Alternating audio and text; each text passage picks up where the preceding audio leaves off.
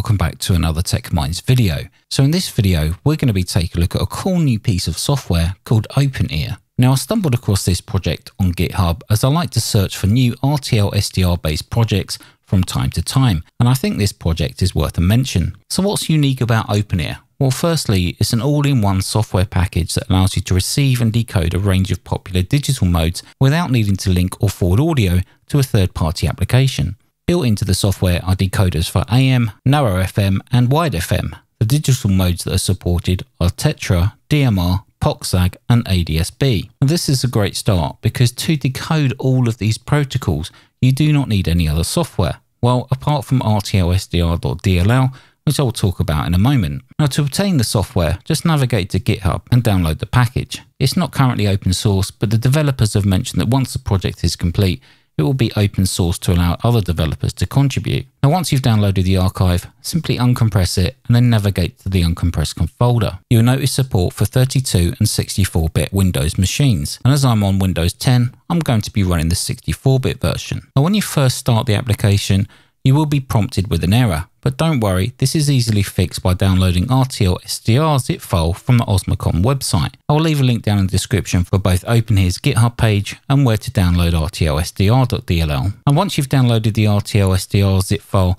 uncompress it and locate the RTL SDR.dll file. Copy this file and place it into the same folder as openear.exe file. Now with your RTL SDR dongle attached and connected to an antenna, you can now go ahead and start the OpenEar application. The RTL SDR dongle that I used for this was the Nooelec SMArTee SDR receiver. You can find these in my Amazon store links in the description if you don't own one. Okay, so we all know what decoding AM and FM is like, so let's take a look at how well OpenEar decodes DMR. Here I'm tuned to my local DMR repeater. Stations who would like to get in contact with Denmark, so well until uh, uh, until now, uh, uh, Golf 1 November Golf Romeo. I'll give you the best 73s and uh, 55.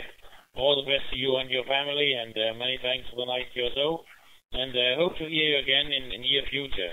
Um, Golf 1 November Golf Romeo. This is Oscar Solo 9. Sierra Lima wishing you 73 and good night.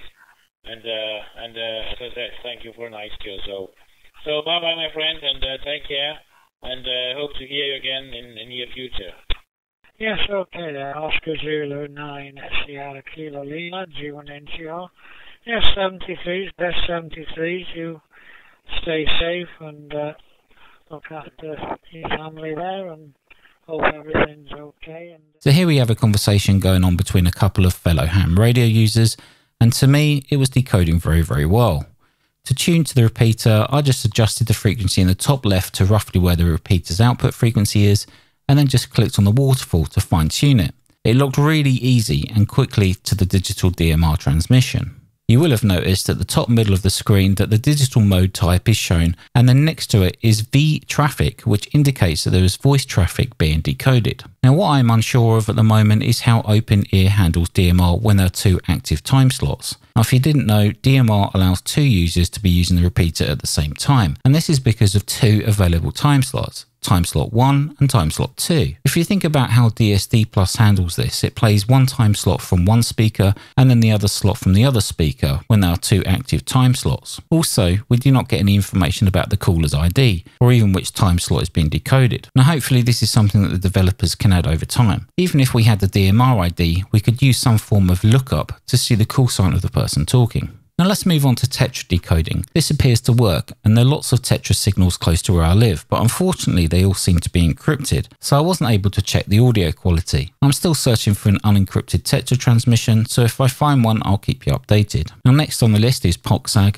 or otherwise known as pagers. Where I live I can receive a few pager transmissions and they are extremely strong. While in POCSAG mode, you will notice a table appear at the bottom of the application window. Here is where the recorded decoded pager transmissions are decoded and then printed to ASCII for us to read. This appears to work very well and compared to another POCSAG decoder like PDW, it was working just as well. And the last digital mode to decode is ADSB. Now ADSB are packets of data transmitted from aircraft on 1090 MHz, that's 1.09 GHz. Obviously to get the best performance for this feature, you will need to have an antenna tuned for 1090 MHz. So as you can see here, the bottom table is now showing the received and decoded aircraft, sorted by their ICAO number. As the ADSB mode S messages are received and decoded, we start to get each of the fields populate. So we have the flight number, altitude, speed, angle, latitude, longitude, get a message count, and also last message identifier and a date and time stamp of when the last message was received. Now what I'd like to see here is the ability to connect to OpenEar via Telnet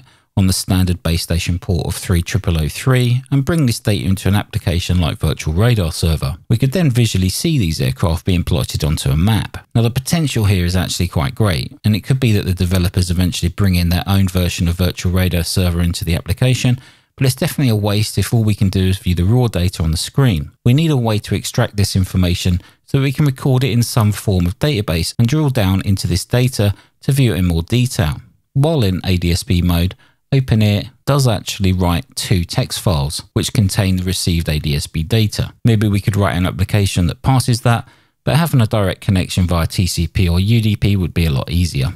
So let's keep an eye on this project and hopefully we'll see some improvements in the near future. Well, I hope you enjoyed this video and if you did want to see more content like this, then please don't forget to subscribe. Until the next video, take care, stay safe, thanks for watching, and I'll see you in the next video.